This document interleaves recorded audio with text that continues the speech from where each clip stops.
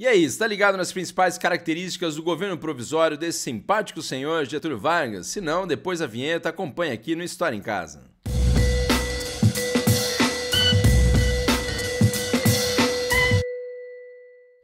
É isso aí, sua louca, seu louco. Aqui é o Prof. Elvis do História em Casa e hoje a gente vai analisar aí o governo provisório de Getúlio Vargas dando continuidade em História do Brasil. Mas antes da gente continuar, lembra de se inscrever no canal, ativar o sininho e também, é claro, dar uma olhada lá no Facebook e no Instagram do Prof. Elvis História em Casa. Lembrando que o governo provisório de Getúlio Vargas representa a primeira fase do que a gente estuda aí como a chamada Era Vargas. É o período aí, então de 15 anos que o Vargas fica direto no poder de 1900 1930 a 1945. São três fases aí: o governo provisório de Vargas, de 1930 a 1934, o governo constitucional de Vargas, de 1934 a 1937, e o governo ditatorial de Vargas, de 1937 a 1945, conhecido aí como o Estado Novo. Lembrando que o Vargas ainda volta ao poder eleito pela população em 1951, quando comete suicídio então em 1954, marcando a chamada segunda presidência de Vargas. E, portanto, a primeira fase, então, aí da Era Vargas é o governo provisório. Lembrando que a Era Vargas, o governo provisório, começa aí depois que Getúlio Vargas sobe ao poder, através da chamada Revolução de 1930, que além aí de oligarquias dissidentes, também contou com a participação de lideranças tenentistas, como está aí para você Miguel Costa, Góes Monteiro também. Lembrando que a Revolução de 30 e a Era Vargas representa aí o final daquela chamada República Velha de 1889 a 1930, ou especificamente da República Oligárquica ou do Café com Leite de 1894 a 1930. Essa última fase então representada pelo domínio das oligarquias, né, paulista e mineira. Então, com isso, o Vargas subindo ao poder representa o final da chamada República Oligárquica ou do Café com Leite. E o governo provisório de Vargas, de 1930 a 1934, é um governo que apresenta características ditatoriais, apesar de, na verdade, aí o governo ditatorial do Vargas ser o governo lá do Estado Novo mais para frente. Mas, como todo governo revolucionário, esse governo apresenta características ditatoriais por concentrar poderes ou né, fortalecer aí a figura do executivo ou concentrar poderes nas mãos do executivo para implementar esse novo governo. Lembrando né, que esse governo provisório não temos ainda um presidente eleito, mas temos um chefe, que é justamente ele, Getúlio Vargas, que então, ao chegar aí, né, lá do Rio Grande do Sul, no Rio de Janeiro, recebe aí da junta pacificadora lá que acabou, né, depondo Washington Luiz, lá no Rio de Janeiro, você tem então aí o Getúlio Vargas subindo ao poder como chefe desse governo provisório.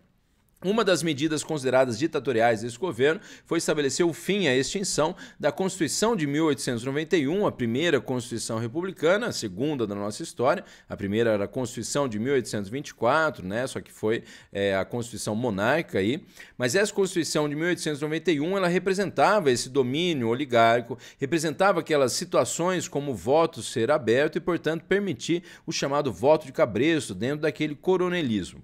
Com isso é bom a gente analisar verdade que também aí esse governo provisório, essa né, nova fase aí política, representava o fim dessas situações, só que o Vargas acaba com essa Constituição, mas não apresenta nenhuma outra, o que vai acabar gerando algumas reações aí, como talvez se lembre, a Revolução Constitucionalista de 1932. O governo provisório de Vargas também foi marcado aí por outras características ditatoriais, como por exemplo, promover o fechamento do poder legislativo em todas suas instâncias aí. O poder legislativo, então, né, no nível federal, estadual e municipal, acabou então sendo fechado pelo governo, que representa, né, que na verdade não existia um poder aí legislativo autônomo, né, e que o poder então de criar leis estava concentrado nas mãos do presidente, ou melhor, do chefe do governo provisório provisório Getúlio Vargas. Lembrando então de que o Vargas nesse momento ele governa através de decretos-lei. Ele vai decretar uma situação e isso vira lei sem ter aí nenhum tipo, né, de votação num sistema bicameral como é hoje, de uma Câmara dos Deputados, de um Senado, por exemplo. Uma outra situação também vista como ditatorial foi o fato de Getúlio Vargas substituiu aí governadores estaduais e prefeitos municipais por interventores, né, pessoas aí ligadas ao seu interesse, à sua confiança, e a maioria aí deles eram tenentistas, né, então originários do movimento que apoiou também a Revolução de 1930. Lembrando que o governo provisório do Vargas, ele também já dá início a uma nova estrutura aí, uma relação de poder que vai existir entre o Estado, né, e os trabalhadores e as classes urbanas, que é o chamado populismo populismo, que marcou também outras situações aí na América Latina, como no México, o Lázaro Cárdenas, como também na Argentina e a figura do Juan Domingos Perón, você lembra da mulher dele, a Evita Perón, que lá aparecia com a mãe dos descamisados. Aqui no Brasil, você vai lembrar lá do Getúlio Vargas como pai dos pobres. Nessa relação, então, de aproximação do Estado né, com as classes populares e principalmente as classes trabalhadoras urbanas. Né? Não temos aí muitas conquistas para os trabalhadores rurais, mas a ideia então de manipular os trabalhadores urbanos, principalmente nas fábricas, nas indústrias, para também não entrar em contato com a ideologia socialista ou comunista, por exemplo.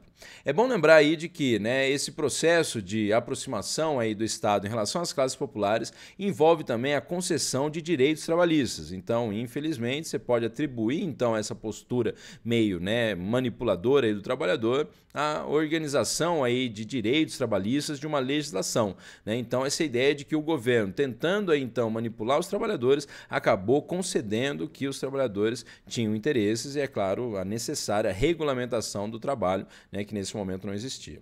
Outra coisa que pode aparecer para a gente também é que essa relação envolve um caráter paternalista né, do Estado aí, ou da figura que conduz o Estado, como se fosse um protetor, um pai aí dessa população. Por isso também a relação aí de se criar mais para frente ainda com a força do DIP no Estado Novo, Departamento de Imprensa e Propaganda, criar a figura do ima, né, a figura, a imagem do Vargas como pai dos pobres aí.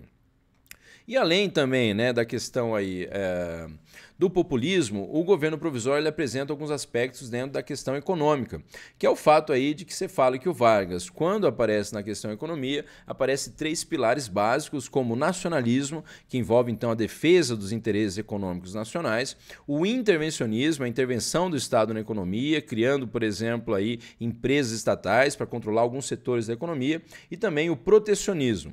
Lembrando então a ideia aí do Estado, né, proteger a economia não só com tarifas alfandegárias protecionistas, mas também intervindo na economia através de empresas estatais, de indústrias aí de bases estatais também. Não é nesse momento, é mais para frente lá, mas você tem criação de usina siderúrgica, usina hidrelétrica, né, no Estado Novo, mas já demonstra essa postura aí. Por sinal, você falou de Vargas aí na economia, seja nesse momento, no governo constitucional, no Estado Novo, na segunda presidência do Vargas, você falou desses três pontos básicos aí. Então é bom lembrar que o Vargas na economia representa o nacionalismo, o intervencionismo estatal e o protecionismo. Além disso, o Vargas também apresenta aí características básicas ligadas a um forte incentivo à industrialização. Então, indústrias de base, de preferência controladas pelo Estado, e também um incentivo à policultura, à diversificação agrícola. Por exemplo, nesse momento, o Vargas incentivou aí a diversificação agrícola através da criação de dois institutos, o Instituto do Açúcar e do Álcool e o Instituto do Mate e do Pinho. Lembrando com isso também, tentando fazer com a economia brasileira no campo agrícola, né, ficou meio, né, pleonasmo, campo agrícola, você entendeu essa? Mas no campo agrícola, então, né, começasse a sair um pouco daquela questão do café. Por sinal, é bom lembrar que o Vargas ele assume o poder aí na Revolução de 30, com o contexto também daquela grande crise de superprodução cafeeira que se registra decorrente da crise, né, de 1929. Então lembra até de que o Brasil estava para colher a sua safra mais recorde, simplesmente o principal mercado consumidor do café brasileiro, que era os Estados Unidos da América, não consome consomem esse produto, então gerando também uma crise de superprodução do café aqui. Lembra? O próprio Washington Luiz não fez aí né, a política de valorização do café e quando Vargas ele assume o poder, ele acaba vendo que, por mais que ele queira incentivar a indústria e a policultura, ele tem que administrar a questão do café, porque o café estava interligado a basicamente todos os setores da economia no Brasil.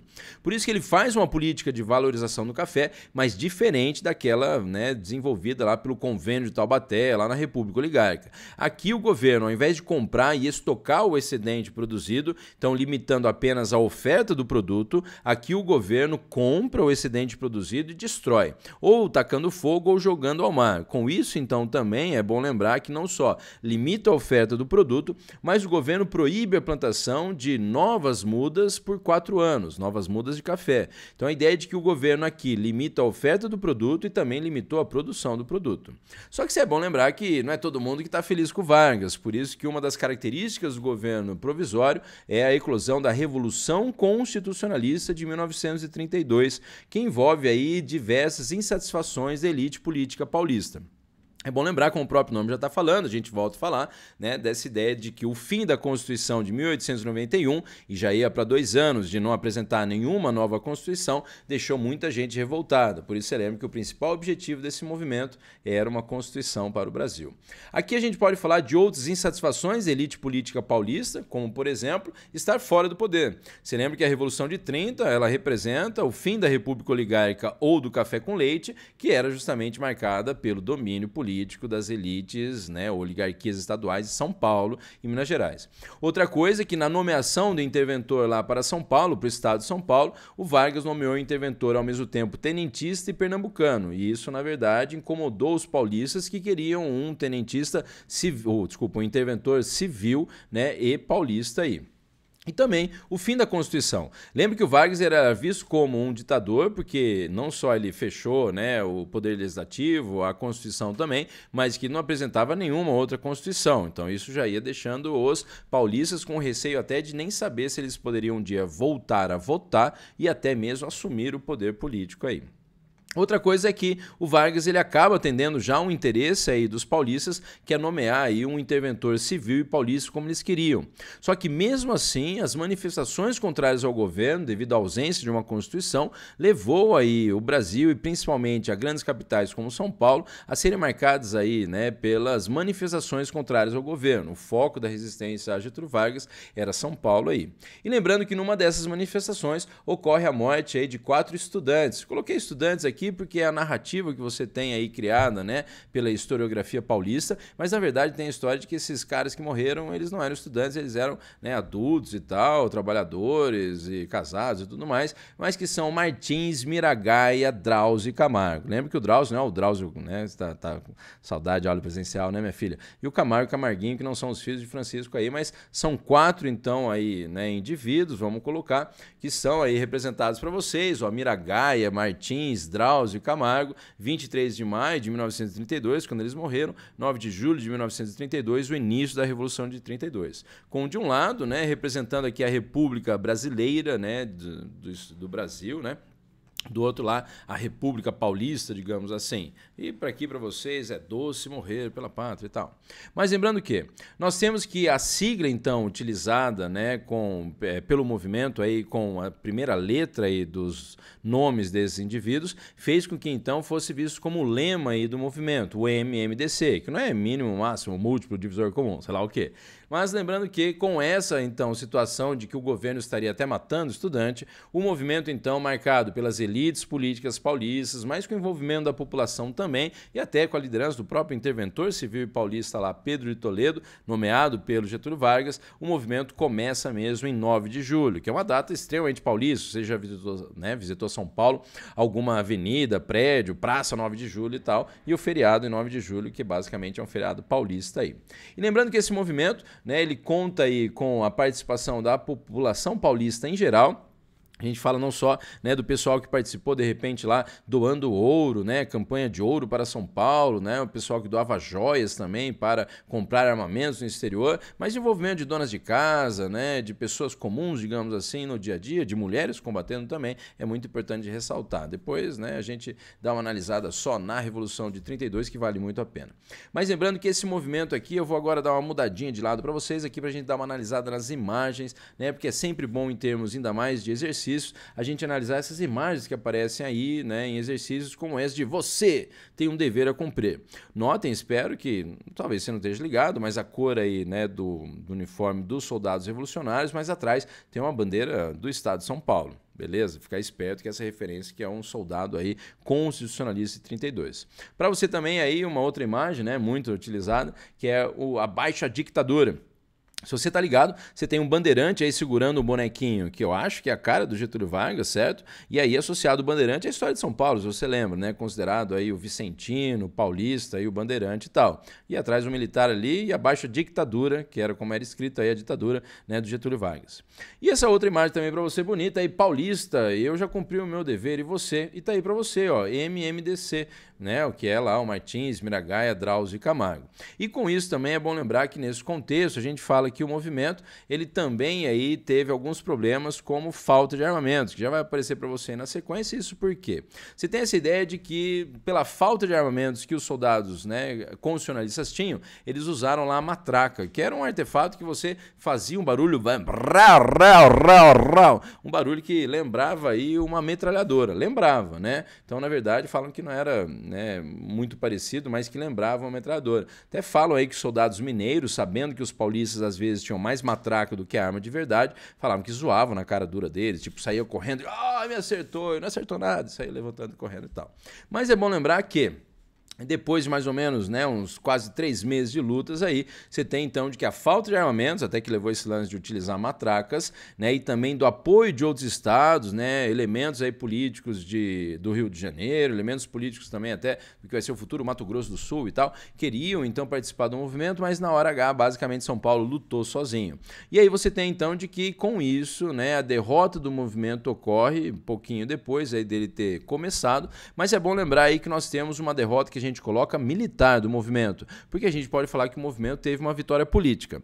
Primeiro, não só uma vitória política, porque no final das contas foi nomeado o interventor civil e paulista, mas uma vitória política também porque o Vargas não reprimiu violentamente essa galera, garantiu até muito da moeda que foi utilizada pelos paulistas revolucionários e também ainda né, fez a convocação de eleições para uma Assembleia Constituinte, que era o que eles queriam, se for ver. Então a ideia de que o Vargas terminou aí também, não só né, pacificando pacificando esse movimento, não fazendo uma violenta repressão e ainda por cima também, no caso, convocando eleições para uma Assembleia Constituinte, que era o que queria a Revolução Constitucionalista de 32.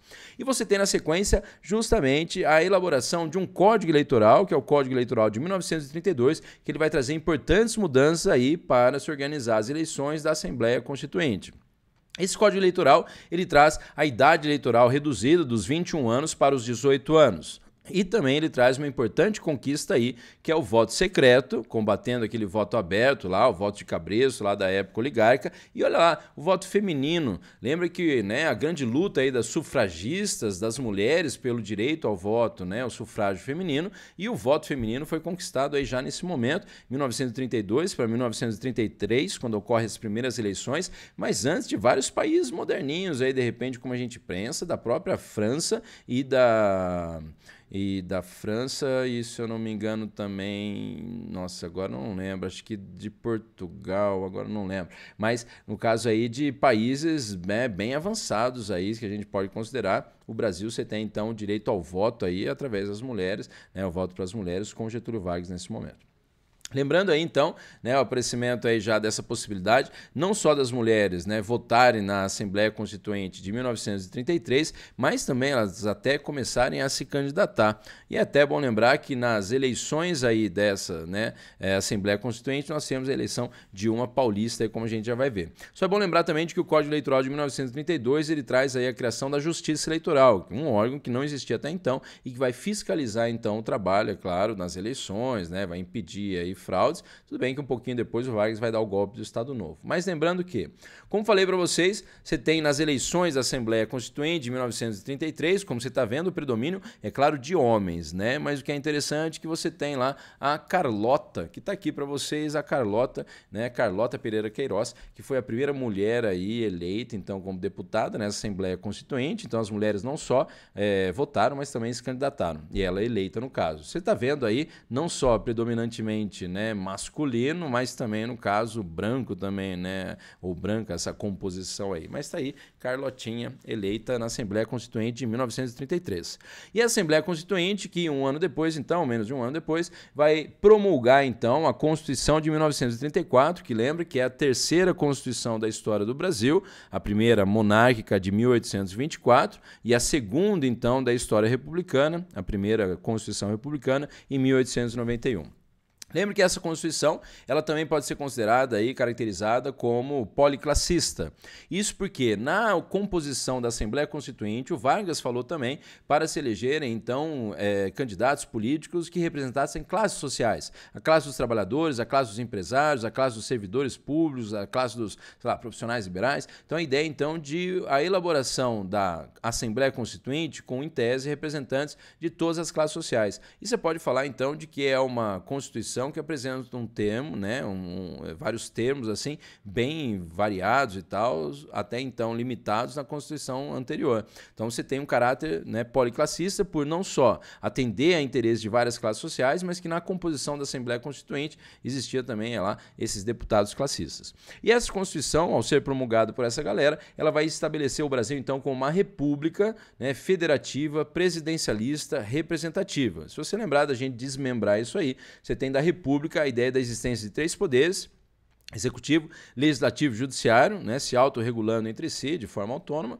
Você tem aí federativa, que seria a ideia de autonomia de estados e municípios numa federação, então também a existência desses três poderes, executivo, legislativo e judiciário presidencialista, no sentido, na verdade, aí, de que o, né, o principal cargo executivo é o de um presidente, com então aí a questão representativa também com um voto, que é o voto direto, o voto secreto e agora também o voto feminino. E a idade eleitoral de 18 anos, que também foi regulamentada aí então. Lembrando que a Constituição de 1934 ela vai estabelecer o fim do cargo de vice-presidente e também estabeleceu que o primeiro presidente aí ia ser eleito de forma indireta. E também o grande diferencial que nós temos é a elaboração de uma legislação trabalhista, o que nos retoma aí a questão né, dessa participação de deputados classistas, então, que representavam o atendimento também dos trabalhadores. Então, já né, regulamentação do trabalho infantil e feminino, redução de, de horário de, né, de trabalho, de jornada de trabalho. E com isso, então, é bom lembrar o primeiro presidente aí, né, por ser uma revolução né, que estava eh, se desenvolvendo, uma constituição de uma revolução aí, ele é eleito de forma indireta. E quem é escolhido, surpreendentemente, é o próprio Getúlio Vargas, então, que vai ser aí o presidente agora né, desse governo constitucional que começa em 1934. Mas aí é só é bom lembrar, já é uma outra história, por isso que a gente deixa para a próxima aula aí. Mas, de novo, se você puder, se não se inscreveu ainda, se não deu um like aí no vídeo, se não também se inscreveu e não deu uma olhada lá no Facebook e no Instagram do Prof. Elvis História em Casa, dá uma olhada lá. E é isso aí, galera. Valeu, espero que vocês tenham gostado e até a próxima. Tchau, valeu, até a próxima história aqui no História em Casa.